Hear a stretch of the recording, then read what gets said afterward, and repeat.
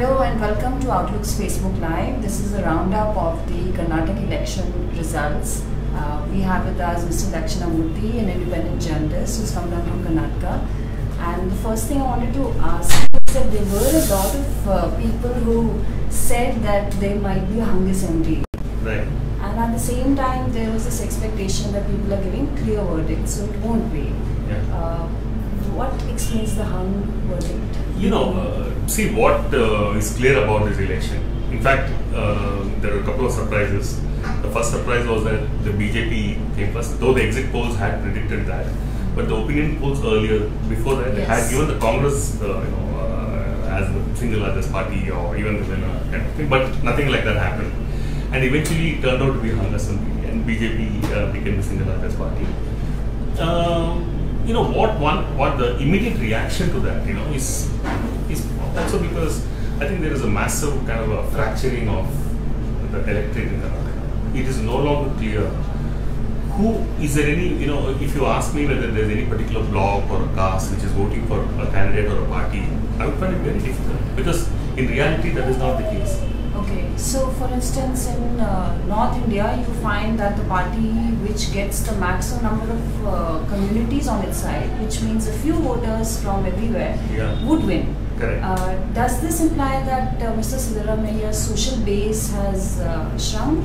Uh, You know, uh, Siddaramaiah is a popular politician, and he used to promote this uh, what he used to call as Ahinda. yes, of course. Okay, Ahinda is that uh, you know OBC. minorities, OBCs, and uh, Dalits, Yes. right? So, and then see the the point here is that he projected it that way, but whether these people you know reciprocated what he was trying to do is the, really the question. Right, right. Okay, so uh, and it doesn't seem to have really worked.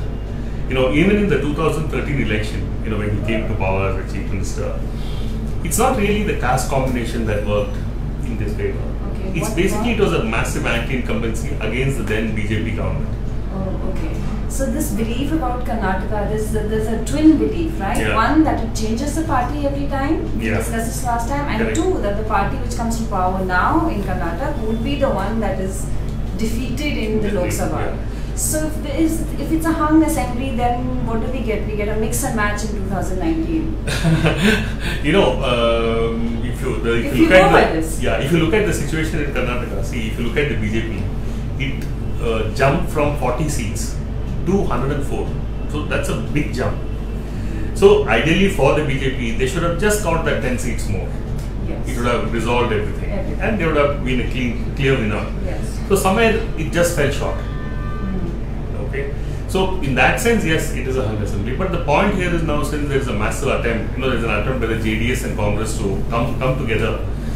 Probably, you know, it can get resolved Um, because for the BJP, it's a tougher job of breaking, you know, ensuring defections from other parties or breaking another party, and then you have all the, you know, uh, other things that go with it, money and you know, etc. Yes. All the uh, enticements and all You don't come out smelling of roses after such. Absolutely. Uh, Absolutely. You know, the other real, you know, the real um, issue now is a lot of people are really questioning um how, you know, how, uh, how come uh, the nature of a, a political, you know, game. You know, you mean the first past the post? Uh, first past the post is all right, but I'm saying this kind of, you know, uh, horse trading or, you know, and attempts to uh, break other parties and all that has become very open. And as somebody commented to me this morning, it's becoming normalized, you know, which means that you you no longer see it as an issue. I feel these are, our, you know, these are some deeper issues that one needs to, you know. coming to the fore because of. Uh, No, because it has a, it comes out from Karnataka, but we saw it in Goa and Manipur.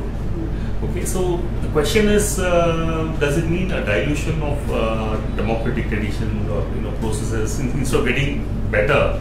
Is it kind of slipping back? That's a you know, something like that. You know, so it's a. That's how I feel. You know, um, the north, I don't know how you see it from Delhi. Well, pretty much the same way. Yeah? Yes, Mm. yes, it's not appreciated. Yeah. So, you know, the, and then what's going to happen as far as your 290, 2019 uh, thing, you know, you said. See, earlier, Karnataka used to get one party at the state and then another party in the center. But the point here is that it's, of course, interesting that it happened that way, but it's just a coincidence. Or a superstition. So it's more a coincidence because you see it happening every time, Yes. but actually they have no relation to each other. to each other. Okay. So one of the things that uh, the Congress had said uh, was that immediately after this election, they would focus their attention on Andhra and Telangana. Yeah. So they would begin with Telangana immediately, I suppose. Mm. And uh, what what what is the lay of the land in that state? Is is it going to be a tough fight again? Do they You mean the Congress? Yes, I mean, I'm trying to get a sense of uh, if the BJP is not doing so well in the North Indian states anymore, Mhm. it has reached a saturation point, it can only go down.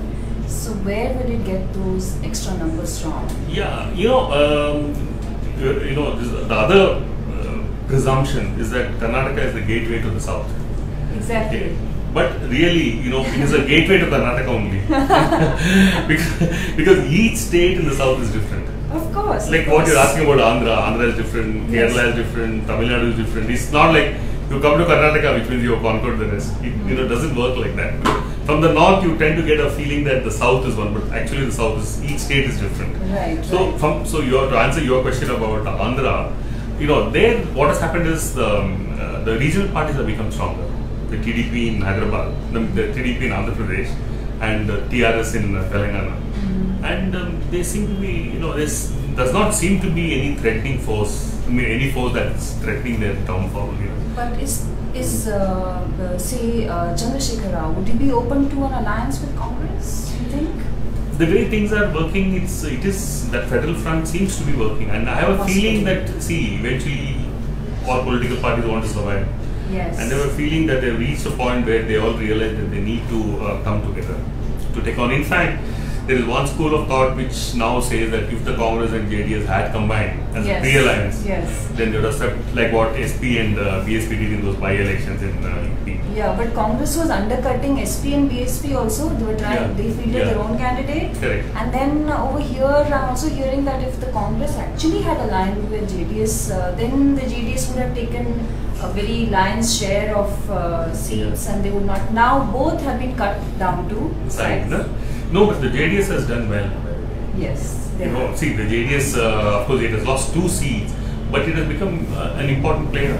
Yes, yes. You know, so that's you know From that's kingmaker to king. yeah, absolutely, absolutely. You know, so this probably it's a kind of a windfall for the you know. How did the BSP win one seat?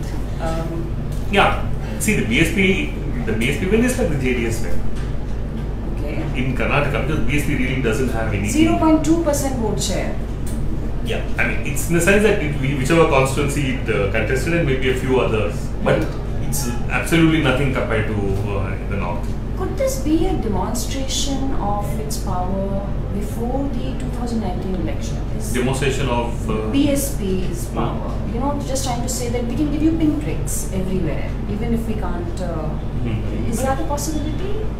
I mean, I think the BSP is really negligible. Seriously. Of course, in Karnataka they are. But why would they? Uh, why would they go there and why would they spend this? See, it's also because of the personal relationship between Gowda and Mayawati. That's number one. And the BSP uh, would like to become an uh, all India party Mm. because there are Dalits everywhere who need to, you know, get empowered and all the representation and all that. So there is a very good potential for the BSP to emerge as a, you know, uh, into a much bigger party. But you know that you know those are issues which the BSP has to handle. Because many, you know, in fact, you know, in my own reckoning, many of these political parties that really uh, are controlled by individuals, Yes. you know, which they, I think I have a feeling they have some kind of a limitation how much they can expand. Okay, which is uh, as opposed to the BJP, which has uh, Yeah.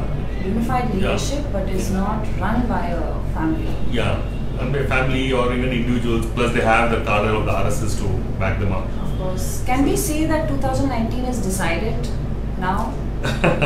no, Should I wouldn't say- say that. I would. I mean, I would uh, still keep my fingers crossed. You know. After all, that is what elections are for. No, the Yes. unpredictability. You know, the nature of unpredictability, isn't it? So, I mean, it, but of course, the Karnataka elections throws up a lot of interesting questions, like you know, the, I know the way forward and all that. So, it should help. I mean, I think uh, it should be at least an indicative kind of a you know, thing. like for instance, JDU, how Nitish Kumar is going to uh, fare in the general elections. whether the combination of JDS and Congress will help a, a federal front or whatever. You know, Larger OBC coalition, Yeah, which yeah. Uh, North India is trying to push, push. Yeah, yeah. So, so there are probably possibilities of uh, a kind of a coalition that can emerge. Yeah. Okay. Yes, so we should Yeah. call it a day. Thank okay. you. Yeah. Thank you. Yeah.